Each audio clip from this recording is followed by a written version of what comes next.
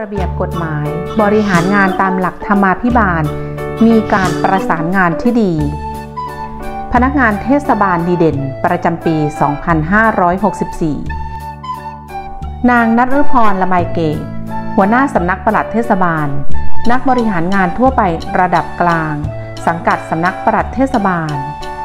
มีความวิริยะอุตสาหะ ในงานหน้าที่ความรับผิดชอบ ตั้งใจที่จะทำงานในหน้าที่ ให้ได้รับความสำเร็จด้วยตนเอง มีความรับผิดชอบต่อหน้าที่ ปฏิบัติงานในหน้าที่ความรับผิดชอบ และที่ได้รับมอบหมายอย่างมีประสิทธิภาพ มีความสามารถในการประสานสัมพันธ์ และสร้างความเข้าใจอันดี กับผู้ใต้บังคับบัญชาเป็นอย่างดี นางนุชลีก้อนแก้ว นักการสังกัดกองคลัง มีความอดทน ไม่ย่อท้อต่อปัญหาอุปสรรค เชื่อฟัง และให้ความเคารพต่อผู้บังคับบัญชา เป็นผู้ที่มีมนุษยสัมพันธ์ที่ดี ยอมรับ ฟังความคิดเห็นของผู้อื่น ปฏิบัติงานในหน้าที่ความรับผิดชอบ และที่ได้รับมอบหมายอย่างมีประสิทธิภาพ ให้ความร่วมมือ และช่วยเหลือในการปฏิบัติงานได้เป็นอย่างดี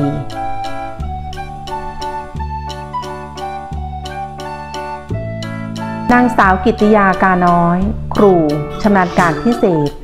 สังกัดโรงเรียนเทศบาล3วัดชัยชนะสงคราม เป็นผู้ที่ประพฤติและปฏิบัติตน อันเป็นตัวอย่างแก่บุคคลโดยทั่วไป มีความตั้งใจที่จะทำงานในหน้าที่ ให้ได้รับความสำเร็จด้วยตนเอง มีมนุษยสัมพันธ์ที่ดี มีน้ำใจช่วยเหลือ และให้ความร่วมมือในการปฏิบัติงาน มีความสามารถในการคิดริเริ่ม หาหลักการ แนวทางวิธีการใหม่ๆ มาใช้ประโยชน์ในการปฏิบัติงานอยู่เสมอ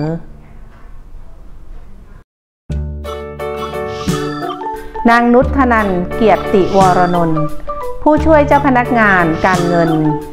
และบัญชีสังกัดโรงเรียนเทศบาล 3 วัดชัยชนะสงคราม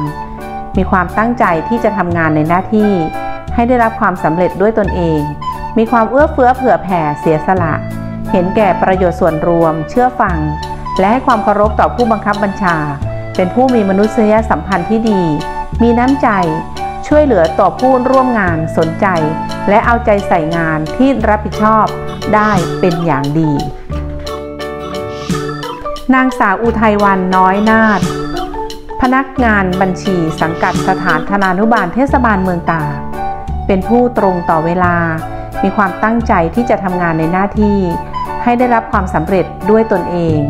มีน้ำใจช่วยเหลือ และให้ความร่วมมือในการปฏิบัติงาน ยอมรับและฟังความคิดเห็นของผู้ร่วมงาน มีความสามารถในการแก้ไขปัญหา และมีปฏิภาณไหวพริบในการปฏิบัติงานเป็นอย่างดี